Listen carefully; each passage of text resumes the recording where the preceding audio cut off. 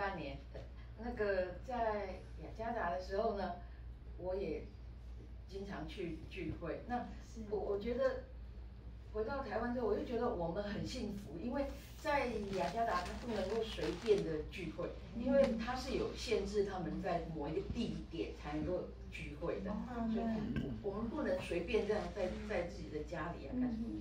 所以我觉得我们在台湾真是幸福。阿妹，那感谢主，今年主给了我两个孙子，然后呢，我我也觉得，嗯，我应该可以胜任吧。然后呃，我我就带了这样子，然后呃，到现在呢，这个手不能动，真的，我一下去抱他的时候，这只手好痛啊！跟我儿子说。我可能不行了，然后呢，我儿子说：“哦，这样子哦，好，那我下班早一点。可是偏偏现在的年轻人怎么那么可怜啊？下班都七八点钟了，你说他能找到保姆吗？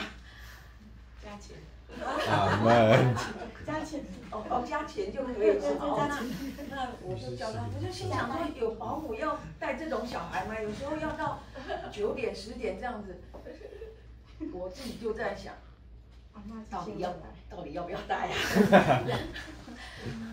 后来我我一直觉得说，呃，好像自己还蛮强壮的，然后感谢主，我我真的觉得我。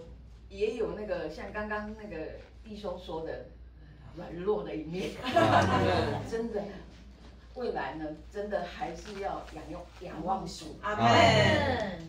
再来就是呃，我来年的负担就是我的弟兄啊。阿门。希望呢，他能够跟我一起再来聚会。阿门。先聚会啊。阿门。因为。嗯，很谢谢那个村民跟那个秋儿，他们一直说，哎，可以去你家，呃，坐坐吧，坐坐了，不要说讲。我我一直说，哦哦，可以，哎，我先跟我的弟兄先那个，呃，先讲一下，调。调香调香调，然后他。他不吱声，他不吱声就代表默默许，no no no no，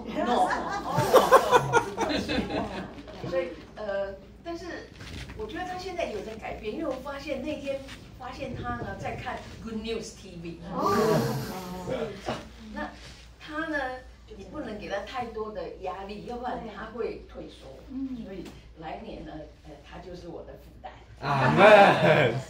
非常感谢主，也让我知道我有软弱的一面。阿门。